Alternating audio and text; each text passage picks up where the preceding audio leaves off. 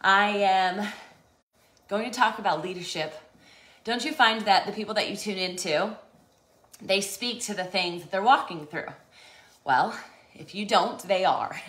It's no surprise. Unless, of course, it's a biblical study and they're in rhythm with something. But this morning from my Bible in a Year, which I know some of you guys have since purchased, I wish I, I there's no royalties, no affiliate, no, nothing like that. Just it's an awesome Bible and I really love it. And specifically, this one's for women, but they have the exact same version made for men as well. So highly recommend you getting one of these. Um, I just finished Jonathan Cahn's book, Harbinger 2, as well, which was wild, mind blowing. Everything that's connected to 9 11 and prophecies from Israel that are re being existing here. They're coming to realization again here on this city on a hill in America If you're unaware of that stuff or whatever I'm talking about, and you want to be tuned in to what supernaturally is happening from a heaven's perspective, get that book, Harbinger 2, okay? He has a 1, but you don't need to read the 1 in order to understand the 2. The 2 is most relevant as of since COVID, 2021. It came out.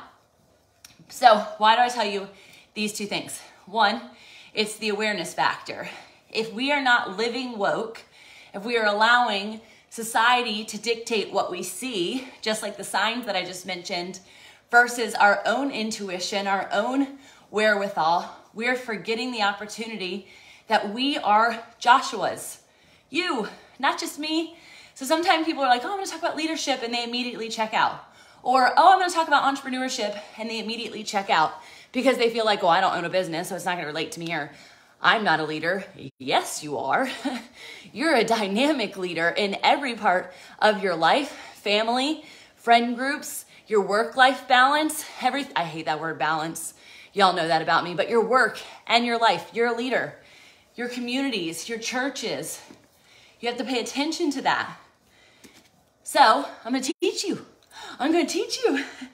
And I'm to teach you the rhythm that Joshua took as the baton was passed from Moses to the next generation of Joshua and how he actually was the one who took the vision and led the Israelites into the promised land.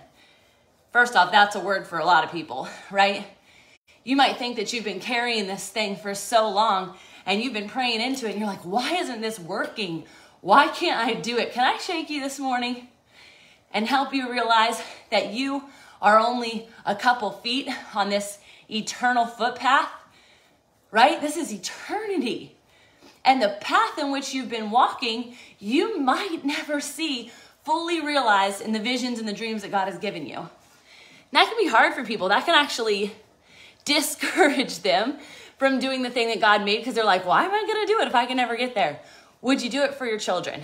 Would you do it for your children's children? And if you don't have kids and you're like, I can't relate, would you do it for your best friend's kids?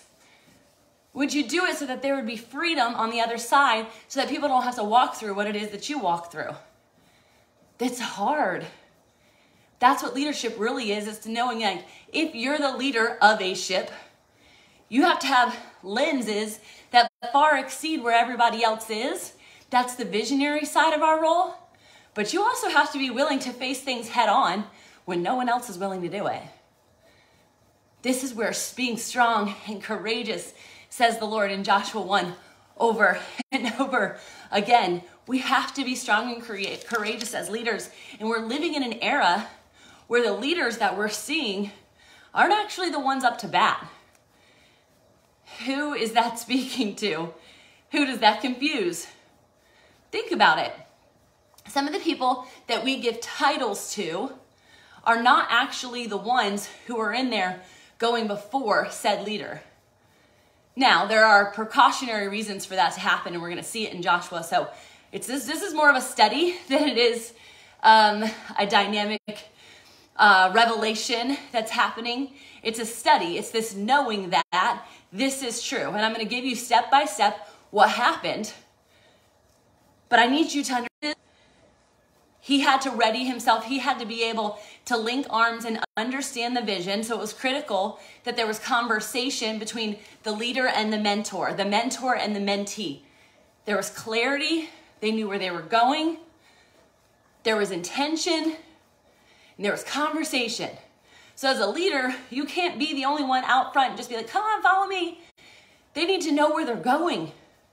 You have to be able to cast vision as a leader.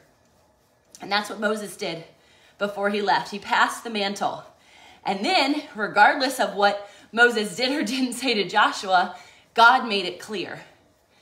And this is the part where, from a leadership perspective, I don't think we lean in to how detail oriented God is on every single thing that we do. From the time that you wake up before your alarm to the time that you're doing the thing on your calendar that you do every single day. To the in betweens and the outsides, God is in the midst.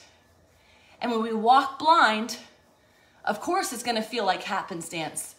It's of course we're not even going to notice said sign, said wonder, said solution. Because we're going to be so focused on the very next thing just to check a mark. Just, just to check a box with a check mark, right? So first off, we have to ready ourselves. Strong and courageous. We can't do anything at all anymore without courage. It takes courage to go live. It takes courage to get on a bike. it takes courage to open the Bible. It takes courage to walk out your front door. It takes courage to drive down the street. It takes courage to send your kids to school. It takes courage in everything that we do. And so this is a muscle that we're sharpening, the muscle of courageousness is connected to strength. It's not, he didn't just say be strong. No, he said be strong and courageous. They go hand in hand. So, from a mentality perspective, we have to be working on that. Physicality perspective, we have to be working on that. Emotionally, whew, I got rocked last week. I got hit upside the head by a bat unexpectedly from someone I love. And it wrecked me. It wrecked me for about five hours. let's uh, let's be honest. I was like the whole day was messed up. The rest of the afternoon, it sucked me dry of all my energy. And I realized the very next morning when I had peace from this right here, the word, the living word, took that situation, stepped on top of it, gave me peace, corrected me in the process because we all need correction. I didn't handle it perfectly either.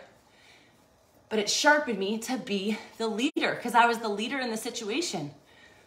And so are you. It might feel like somebody else is in control, but that doesn't mean they're the leader. Let's talk about that. Control and leader are not the same. All right, are you ready? You want to know how Joshua did this thing? His leadership conversation and example be strong and courageous. He was passed the mantle, he was tapped as such. There's this awesome uh, gal, her name is Danelle Delgado. She talks about being tapped as the asset. You're being tapped as the asset. If you're listening to this right now, I'm tapping you. You are the asset. You are the leader. And until you start carrying that mantle strongly and proudly, boldly and courageously, no one's to follow you. And I don't mean that from a social media follow me perspective. I mean that you're a movement maker. You're an atmosphere changer. You're a kingdom citizen. Your royalty far exceeds every title that you carry. You have a robe of many colors that's sitting in your closet and you're not putting it on. You're not putting it on because you think your brothers are going to throw you in the pit again. if your story is like mine, you might feel like that. But you're forgetting the return of the prodigal gives that person, gives that papa and that person a communion, a covenant that's reestablished because of what Jesus did for us on the cross, that nothing else matters. Forget the he said, she said. Forget that. All right, here's what you got to know. So I'm in Joshua uh, 2, Joshua 3 at this point. I talked about Joshua 1 in being strong and courageous being passed the mantle from Moses and making sure also, you're going to talk about this as well. When you're given vision, there might be some things you have to do in secret in order to confirm said vision. Not to confirm God, because God is always right, always truthful, always on target, right? It's not questioning God, it's questioning circumstances. Remember, we are here on earth, and therefore there's flesh associated to said circumstances. And even when the supernatural is going to come to fruition, and we know that we know that we know, we still have to take precaution